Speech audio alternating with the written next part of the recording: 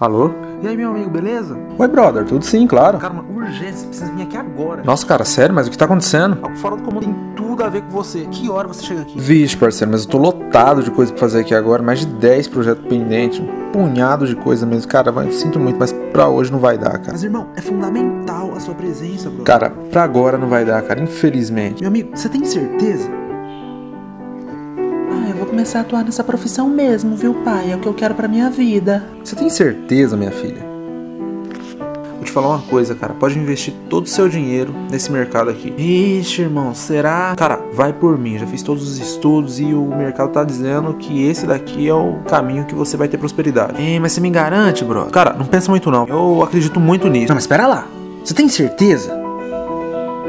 E aí, a prova é amanhã. Já acabou de estudar? Ah, já parei faz tempo, já, já entendi tudo que eu preciso saber já.